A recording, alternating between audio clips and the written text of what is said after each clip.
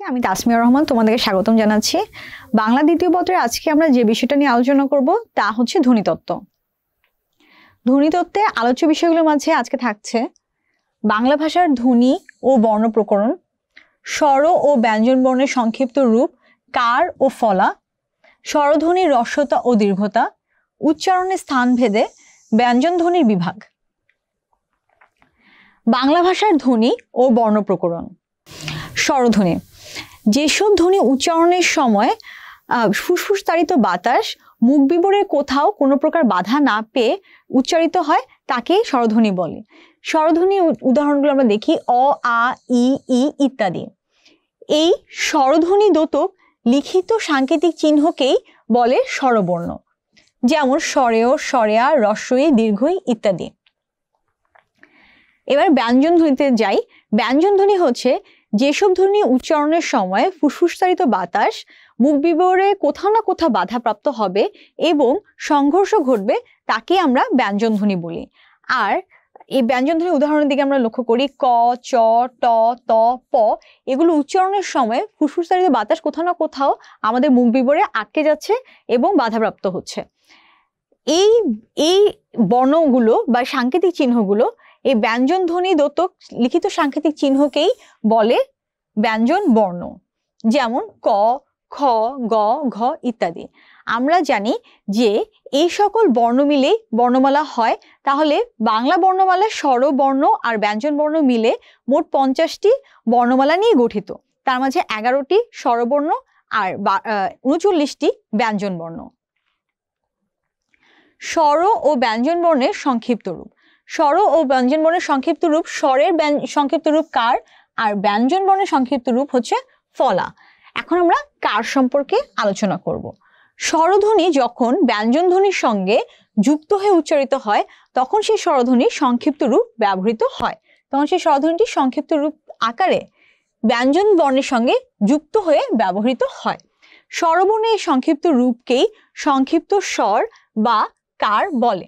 যেমন, আয়ের সংক্ষিপ্ত রূপ আকার, ই এর সংক্ষিপ্ত রূপ ইকার দীর্ঘ ই এর সংক্ষিপ্ত রূপ দীর্ঘ ইকার রস্য উ এর সংক্ষিপ্ত রূপ, রস্য উকার দীর্ঘ উ এর সংক্ষিপ্ত রূপ, দীর্ঘ উকার এরকম আরও আছে রিকার একার ঐকার ওকার ওকার এবার আমরা ফলাতে চলে আসি। ব্যঞ্জন বর্ণের সংক্ষিপ্ত রূপকে ফলা বলে। এভাবে যে ব্যঞ্জনটি যুক্ত হয়, তার নাম অনুসারে ফলার নামকরণ করা হয়। যেমন, ময়ে যদি জফলা হয়, তাহলে সেটা আমরা ময়ে জফলা উচ্চারণ করব। সেরকম ময়ের সাথে যদি আমরা রফলা যুক্ত করছি, তাহলে ময়ে রফলা ময়ের সাথে যদি বফলা যুক্ত করছি, তাহলে ময়ে বফলা এবার আমরা পড়ব স্বরধ্বনির রস্যতা ও দীর্ঘতা। স্বরধ্বনির রস্যতা ও দীর্ঘতা বলতে কি বুঝি? স্বরধ্বনির উচ্চারণকালে সময়ের স্বল্পতা ও দৈর্ঘ্য অনুসারে রস্য ও দীর্ঘ হয়। এই নিয়ম অনুযায়ী যে রস্যগুলো আছে, সেগুলো দীর্ঘভাবে উচ্চারিত হয় এবং যে দীর্ঘকারগুলো আছে, সেগুলো রস্যভাবে উচ্চারিত, উচ্চারণ সময় রস্য হয়। তাহলে একটি মাত্র ধ্বনি বিশিষ্ট শব্দের উচ্চারণ সবসময় দীর্ঘ হয়, যেমন দিন, তিল, পুর। স্বরধ্বনির যে দীর্ঘতা পাচ্ছে, তার একটি উদাহরণ আমরা দেখি, যেমন তিরিশ। এখানে রস্য ইকার ব্যবহৃত হলেও উচ্চারণে আমরা সময় বেশি লাগছে মানে সময় দীর্ঘতা পাচ্ছে। আবার আমরা যদি দেখি দিন শব্দটি, তাহলে এখানে দীর্ঘিকার ব্যবহার হচ্ছে, কিন্তু দীর্ঘ ইকার ব্যবহার হওয়া সত্ত্বেও সময়ের স্বল্পতা মানে সময় হ্রাস পাচ্ছে। তাহলে এটাই দেখছি যে স্বরধ্বনির রস্যতা পাচ্ছে দীর্ঘ ইকার ব্যবহারে দীর্ঘ দীর্ঘকারগুলোর ব্যবহারে এবং দীর্ঘতা প্রাপ্ত হচ্ছে রস্যকার ব্যবহারে।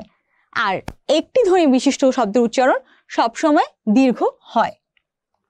এবার আসি যৌগিক স্বরে। যৌগিক স্বর কি? পাশাপাশি দুটি স্বরধ্বনি থাকলে দ্রুত উচ্চারণের সময় তা একটি সংযুক্ত স্বরধ্বনি রূপে উচ্চারিত হয়। এরূপ একত্রে উচ্চারিত হলে সেই মিলিত স্বরধ্বনিকে যৌগিক স্বর বা দ্বিস্বর বলে। যেমন, স্বরেয় যোগ রস ই ওই সেরকম আমরা দেখতে পারি স্বরেয়া যোগ রস ই সমান সমান আই। আবার সরেয়া যোগ রস উ সমান সমান আউ। বাংলা ভাষায় এরকম যৌগিক স্বরধ্বনির সংখ্যা পঁচিশ। ক থেকে ম পর্যন্ত পঁচিশটি স্পর্শধ্বনিকে উচ্চারণের স্থানের দিক থেকে পাঁচটি গুচ্ছে বা বর্গে ভাগ করা হয়েছে। এবার আমরা ব্যঞ্জন ধ্বনিতে আসলাম। ব্যঞ্জন ধ্বনির বা ব্যঞ্জন বর্ণের ক থেকে ম এই পঁচিশটিকে আমরা স্পর্শধ্বনি বলি। এই স্পর্শধ্বনি উচ্চারণের স্থান দিক থেকে আমি, আমরা পাঁচটি ভাগে ভাগ করতে পারি। যেমন প্রথম ভাগ কণ্ঠধ্বনি বা কবর্গীয় বর্ণ। এই কবর্গীয় বর্ণের মাঝে ক, খ গ, ঘ, উম, এই পাঁচটি স্পর্শধ্বনি, এই এই পাঁচটি স্পর্শধ্বনি পরে আর দ্বিতীয় গুচ্ছ তালব্যধ্বনি বা চবর্গীয় বর্ণ। এই চবর্গীয় বর্ণের মাঝে চ, ছ, বর্গীয় জ, ঝ ও ইও অন্তর্ভুক্ত। পরবর্তী বর্গীয় বর্ণ হচ্ছে টবর্গীয় বর্ণ। এগুলোকে মূর্ধন্য ধ্বনি বা টবর্গীয় বর্ণ বলে। এর ভিতরে ট ছ ড, ঝ, মূর্ধন্য, ন অন্তর্গত। তারপরের গুচ্ছে তারপরের গুচ্ছ হচ্ছে দন্তধ্বনি বা তবর্গীয় বর্ণ। যেমন ত, থ, দ, ধ, দন্ত, ন। পরের গুচ্ছটি ওষ্ঠধ্বনি বা পবর্গীয় বর্ণ। যেমন প ব ভ ম। আমাদের আজকের আলোচনা এ পর্যন্তই। পরবর্তী ভিডিও দেখার আমন্ত্রণ জানিয়ে এখানেই শেষ করছি। ধন্যবাদ।